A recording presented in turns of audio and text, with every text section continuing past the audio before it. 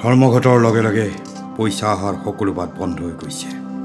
বসুমতী বুঢ়ীয়ে তৰমুজেৰে পেট ভৰাই নদীৰ পানীৰ ওচৰলৈ আগবাঢ়ি গ'ল। হেঁপাহ পলুৱাই পানী খালে। পানীৰ ওচৰৰ শিল এচটাত নাৰায়ণী কিছু অসন্তুষ্ট হৈ বহিল। বসুমতীয়ে খুৰাই খুৰাই অহাৰ দৰে আহি নাৰায়ণীৰ ওচৰত থিয় হ'ল। ক'লে বেৰেকৰ বান্দৰ সোপাই এই গছজোপা দেখাই নাছিল। সিহঁতৰ চকু জগদীশপুৰৰ সেই কচাইকেইটাই দলিয়াই পেলোৱা নাৰীভুৰবোৰৰ ওপৰতহে পি পিয়াই ফুৰে। হঠাৎ তাই ক'লে কি হ'লো নাৰায়ণী? তই দেখোন মুখ ওলমাই বহি আছ? নাৰায়ণী মই তোৰ দুখ বুজি পাওঁ। চেহেৰা দেখোন একেবাৰে পোকে খোৱা অমিতা গছৰ দৰে ঢিলা হৈ গৈছে। পেটত বাচ্ছা তাচ্ছা আছে নেকি? নাৰায়ণী নিৰুত্তৰ। শুন মই ছমহীয়া পেট কাটি একেবাৰে পৰিষ্কাৰ কৰি পেলাব পাৰোঁ। একেবাৰে বনৰীয়া বাগি ডিমৰু কটাৰ দৰে। এইবাৰো নাৰায়ণী নিৰুত্তৰ। শুন জংগলী জিলেবীৰ ৰসেৰে কৰা ঔষধৰ কথাও মই জানো। কবৰ বেদত থাকোঁতে উত্তৰ মুখেৰে ওলোৱা ফেনেৰেও ঔষধ কৰিব শিকিছিলোঁ। বৰ জবৰদস্ত ঔষধ। ফেটি সাপৰ বিষতকৈও মাৰাত্মক। অলপ ইফাল সিফাল হ'লেই খেল খতম। শুন সেইদিনা ৰাতি তই ঠাকুৰ চাহাবৰ কোৱাৰ্টাৰৰ পৰা আধা মৰা হৈ বেৰেকলৈ অহাৰ পাছত মই তোক ছাই নদীৰ বালিলৈ টানি আনিবলৈ চেক চাই আছিলোঁ। নাৰায়ণীয়ে মূৰ তুলি বসুমতীৰ মুখলৈ চালে। কবৰ বেৰত থাকোঁতে এজনী প্ৰেটনীৰ পৰা আৰু এটা দৰৱ শিকিছিলোঁ। বেভিচাৰ কৰি অহাৰ পাছত তিৰোতাজনীক যদি শ্মশানলৈ লৈ গৈ আৰ্তনাদ কৰি উঠিল নাৰায়ণীয়ে চুপ থাক বুঢ়ী ডিঙিত চেপা মাৰি ধৰিম। বসুমতী চুপ হৈ গ'ল।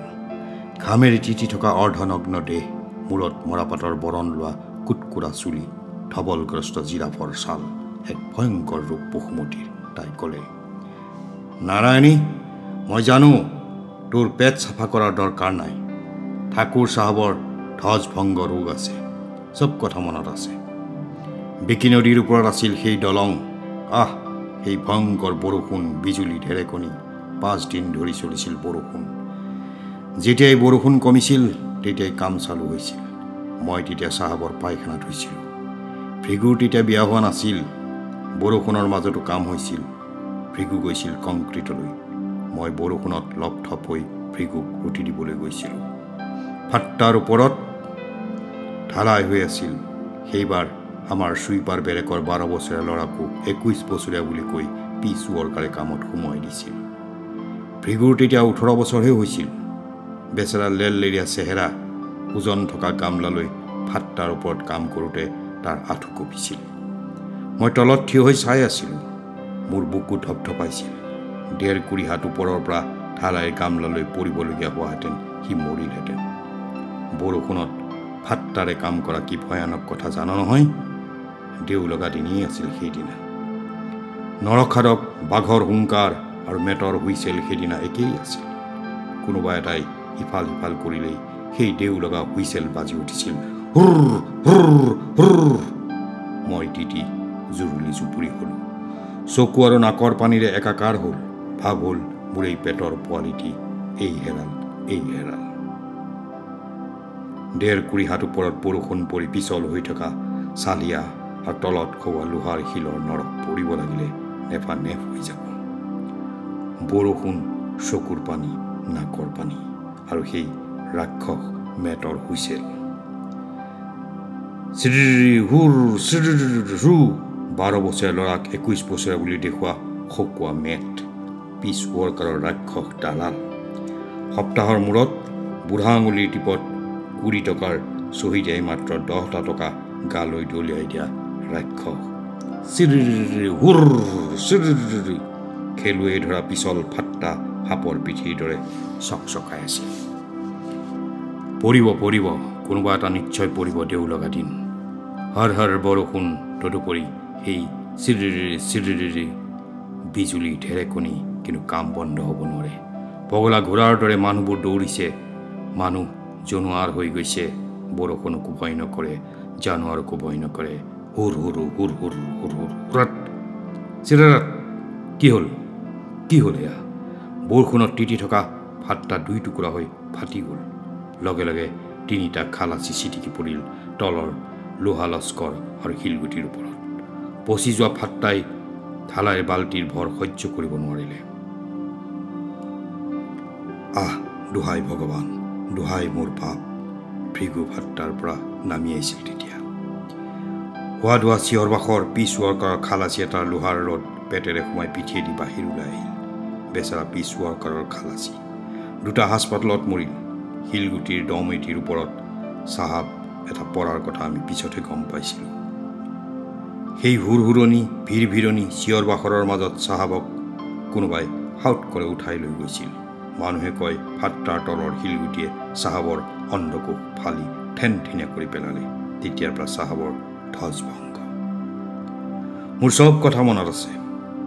হাস্পাতালত মৰা খালাচীহঁতৰ লাজ পুৰিবলৈ ছাইটৰ বাঁহ কাঠ আহিছিল। বৰা চাহাব চোতা চাহাব সকলোকে পুলিচে গ্ৰেপ্তাৰ কৰিছিল। বৰষুণত তিতি থকা ৰদ্দি ফাট্টাৰ ওপৰেৰে ঢালাই চিমেণ্ট লৈ যোৱা ভালুকৰ দৰে খালাচীহঁতৰ জীৱনলৈ পৰৱাই নাই। পুলিচে গ্ৰেপ্তাৰ কিয় নকৰিব? শুনা যায় চাহাবতক খালাচ কৰিবলৈ কোম্পানীয়ে পুলিচক কুৰি হাজাৰ টকা ঘোচ দিছিল বৰ মনোযোগেৰে নাৰায়ণীয়ে বুঢ়ীৰ কথা শুনি গৈছিল বুঢ়ীক দেখিলেই সকলোৱে চেই চেই লে লে কৰে। বেচেৰীৰ মনৰ মাজত অনেক স্মৃতিৰ কথা গিলিপ খাই থাকে। এবাৰ মুখ মেল খালে ব্ৰইলাৰৰ সাপৰ মেল খোৱাৰ দৰে হয়। মূৰ তুলি চাই নাৰায়ণীয়ে দেখিলে ছাইড বালিত কিচিৰ মিচিৰ কৰি থকা শগুন জাকৰ দুই এটা ঠিক দূৰে মূৰৰ ওপৰত উৰিব ধৰিছে বুঢ়ীয়ে ক'লে কিয় উৰিছে এইবোৰ খাই এৰা তৰমুজবোৰক মৰাশ বুলি ভাবিছে নেকি ইনক্লাবিহঁতৰ আৱাজ শুনা নাই ধৰ্মঘট আৰম্ভ হোৱাৰ দিন ধৰি ৱাৰ্ক ছাইটত পৰিক্ৰমা দিয়া মৰ্চাৰ নাৰা শুনা গৈছে অলেখ ৰঙা নিচান বতাহত উৰিছে जो हमसे टकराएंगे চোৰ চোৰ हो जाएंगे हमारा মাংগি পুৰি কৰো এই প্ৰচণ্ড চিৎকাৰত ওচৰে পাজৰে থকা গছবোৰৰ কাউৰীবোৰেও কা কা কৰি উঠিল। বালিত কিচিৰ মিচিৰ কৰি থকা শগুন জাকৰ দুই এটা এইবাৰ আকাশৰ পিনে উৰি গ'ল। বুঢ়ীয়ে মনোযোগেৰে সিহঁতৰ নাৰা শুনিলে। তাৰ পাছত নাৰায়ণীক ক'লে হুঁচিয়াৰ হৈ থাকিবি। বৰ বেয়া দিন আহিছে। এই নাৰাবোৰ চব খোলাকটিৰ তাল হ'ব। মুদ্ৰাৰ ঝনঝননিত এই নাৰা কবৰৰ তললৈ সোমাই যাব। এই নাৰাই মাথো কবৰৰ তললৈ সোমাই যাব পাৰে উঠিব নাজানে। চাহ এয়া মোৰ গাৰ ছাল বনগুৰিৰ ছালৰ দৰে খহটা হৈছে। পিঠিৰ কোচটো দেখিছ? আৰু এই চুলিবোৰ? কুকুৰে ভোকে। মানুহে চেই চেই লেইলেই কৰে। মৰিবলৈ আৰু সৰহ দিন নাই। মই চাৰা জীৱন এনেকুৱা নাৰা শুনি আহিছোঁ। শুন যিবোৰ লিডাৰে আমাৰ ডেইলি পেইডহঁতক অতদিনে ভোকত ৰাখি ধৰ্মঘট কৰিছে সিহঁতে মুন্সীগঞ্জৰ চালিৰ তলত বহি মদ খাই থাকে আৰু মোৰ চাই ৰঙা ঝাণ্ডা লৈ চাইতে চাইতে ঘূৰি ফুৰে। হঠাৎ নাৰায়ণে প্ৰশ্ন কৰিলে কেনেকৈ জানিলি? হুঁচিয়াৰ। নেজান কি মাৰাত্মক দিন আহিছে? মই মুন্সীগঞ্জ আৰু জগদীশপুৰত ঘৰে ঘৰে গৈ উমঘাম ল'লোঁ। বেয়া বেমাৰ হোৱা মানুহ ক'ৰবাত আছে নেকি? মই কাপোৰ কানি আৰু পায়খানা ধুব পাৰিলোহেঁতেন। ক'লোঁ পাঁচমহীয়া পেটটো পৰিষ্কাৰ কৰিব পাৰোঁ। কিন্তু চাল্লাহঁতে পানী এটোপা খোজোতে নঙলাৰ বাহিৰতে ঢালি দিয়ে আৰু গাঁৱৰ সেই কুকুৰজাক আহ একেবাৰে বখলীয়া খাব যেন লাগিল। মুন্সীগঞ্জৰ সীমালৈকে ভুকি ভুকি একেবাৰে হাইৰাণ। জগদীশপুৰতো সেই একেই অৱস্থা। চালাহঁতে নঙলাৰ বাহিৰতে পানী দিয়ে। আমি যেন জন্তু জানোৱাৰহে সিহঁতে কি বুজিব? স্বয়ং গান্ধী ভগৱানে এবাৰ মোৰ আইৰ হাতেৰে পানী পিছিল। আৰ্তনাদ কৰি উঠিল নাৰায়ণীয়ে। ক'ত? চাহেবগঞ্জত। হিন্দু মুছলমানৰ দাংগাৰ সময়ত। এই কথাটি কাৰোবাৰ আগত ক'ব পাৰিলে বুঢ়ীয়ে বৰ গৌৰৱ অনুভৱ কৰে। পশুলৈ ৰূপান্তৰিত হোৱা এই চেহেৰা অন্তৰ্ধান হৈ পৰে। মনৰ আকাশত মহামূল্যৱান মাণিকৰ দৰে উজ্জ্বল হৈ উঠে সেই অনন্য কাহিনী। কিছু সময় তাই নীৰৱ হৈ ৰ'ল। অনাহাৰী পেট তৰমুজেৰে পৰিপূৰ্ণ হৈ পৰিছিল। তদুপৰি নাৰায়ণীৰ দৰে শ্ৰোতা পাই বুঢ়ী বসুমতী এক প্ৰকাৰ আত্মহাৰা হৈ উঠিছিল। এটা বৰ প্ৰয়োজনীয় কথা আছিল নাৰায়ণীৰ সৈতে। সেই কথাটি এতিয়াহে মনত পৰিল। তাই এইবাৰ নাৰায়ণীৰ একেবাৰে ওচৰলৈ আঠি আহি বহিল শুন নাৰায়ণী খুব দৰকাৰী কথা। দুদিন ধৰি তোক এইদৰে অকলশৰে পাবলৈ ফুৰিছোঁ। আজি ওচৰত পাই কথাষাৰ এতিয়াহে মনত পৰিল। কি কথা? পেটত বাচ্চা নাই ভাল কথা। কিন্তু গাখীৰ খোৱা কেঁচুৱা এটাতো আছে। কামৰ পৰা খেদা খোৱাৰ পাছত জেঠ মাহৰ লুৰ কোব খাই যেতিয়া ৰাইবেৰেলিৰ বাটে বাটে ফুৰিবলগীয়া হ'ব আৰু তোৰ সেই বেমাৰী ঢাচলাই যেতিয়া সেই খা খা কৰা ৰ'দৰ চুক সহ্য কৰি তোৰ পিছে পিছে ফুৰিবলগীয়া হ'ব তেতিয়া কি কৰিবি নাৰায়ণে তলমূৰ কৰিলে কেইবা উত্তৰ দিব তাই? শুনিছোঁ সেইদিনা গোটোৱা টকা পইচাৰ ওপৰত বামু আৰু ৰামু গুণ্ডা উবুৰি খাই পৰিল। কিবা বচাব পাৰিলিনে নাৰায়ণীয়ে এইবাৰো কোনো উত্তৰ নিদিলে। মই জানো সেই দুটা ৰাক্ষসৰ হাতৰ পৰা তই একো বচাব নোৱাৰিলি। নেজান মিছা সাক্ষী দিবলৈ বাহিৰৰ পৰা মানুহ আহি সিহঁতক ভাড়া কৰি নিয়ে। কতবাৰ হাজোতৰ ভাত আৰু পুলিচৰ চাবুকৰ কোব খাই আহিছে সিহঁতে। এইবাৰো নাৰায়ণে কোনো উত্তৰ নিদিলে। শুন তোক এটা ডাঙৰ কথা ক'বলগীয়া আছে। কি কথা? ৰাইবেৰেলি টাউনলৈ সেই লডি খাৰপিত আৰু কচ আইৰিন কোম্পানী আহিছে। একচিন পাৰ হৈ নতুন চুইপাৰ আহি পাবলৈ অনেক দিন লাগিব। তদুপৰি সিহঁতে কেম্প পাতি জগদীশপুৰৰ সীমাত থাকিব। কোনে ক'লে? ইউনিয়নৰ মেম্বাৰ এটাই সেই ৰঙা টুপি পিন্ধা। হাণ্টাৰ লৈ ফুৰা লিং লিঙীয়া মেম্বাৰটো দেখা নাই। সেইদিনা জগদীশপুৰৰ পৰা উভতি আহোঁতে পিছে পিছে কুকুৰ এজাকে খেদি আহিছিল। নেফানেফ কৰি পেলালেহেঁতেন মোক ৰঙা টুপি পিন্ধা এই মেম্বাৰটো নহাহেঁতেন কুকুৰ আৰু জাকক খেদি দি ৰঙা টুপিয়ে ইফাল সিফাল চাই কৈছিল উঠ বুঢ়ী উঠ। তই জগদীশপুৰত সোমোৱাৰ পৰা ওলাই অহালৈকে মই তোৰ পিছ লৈ ফুৰিছোঁ। কামৰ খবৰ ক'তো নেপালি নহয়। আকৌ এবাৰ ইফালে সিফালে চালে যেন চুৰি কৰিহে মোৰ লগত কথা পাতিছে। হেৰৌ ৰাক্ষসী ধৰ্মঘট চলি আছে আৰু মনে মনে তহঁত ডেইলি পেইডতে মৰ্চাত ভাগ নলৈ কাম বিচাৰি ফুৰিছ। মেটক কৈ তহঁতক চাটাই কৰাম। মই চুচৰি গৈ ৰঙা টুপিৰ ভৰিখন সাৱটি ধৰি ক'লোঁ মইতো নাৰা লগাব নোৱাৰোঁ। ইউনিয়নৰ ওপৰত তহঁতৰ বিশ্বাস নাই তহঁত নিমখ হাৰাম। ইউনিয়নে ফান শেষ কৰি তহঁতক বিলাই দিয়া নাইনে?